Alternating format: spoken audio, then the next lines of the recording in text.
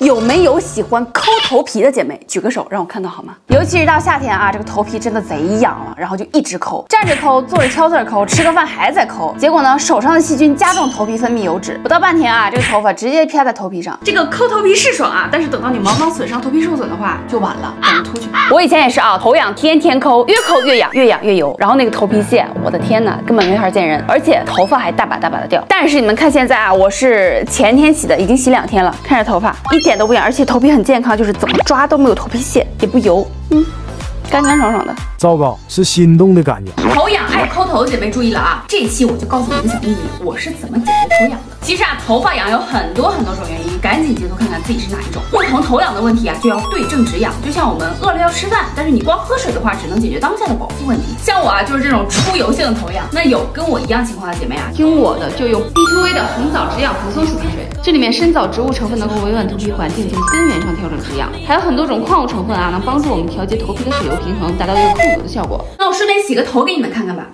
哦，还有一点，姐妹们注意啊，搓头皮的时候千万不要用指甲盖这样去抠啊。本来你头发又出油又痒，就已经不是一个正常健康的状态了。那我们这个时候又再用手指盖这样去擦去搓的话，头皮会更敏感。哎，就就是用指腹这样按摩，就用指腹这样抓，哎，从前往后这样，这泡沫真的蛮多的。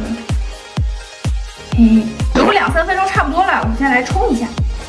这个洗发水洗完啊，我最直观的感受就是洗之前呢，就像大夏天穿了一个厚棉裤一样，又厚又闷；洗完之后就像穿了一个真丝小裙儿，哎，小下方那么一吹，清清爽爽。看咱这吹好的头发啊，柔顺蓬松，而且发根呢清清爽爽。之前啊买这个 B2V 洗发水的时候，我还记录了一下洗完之后的效果。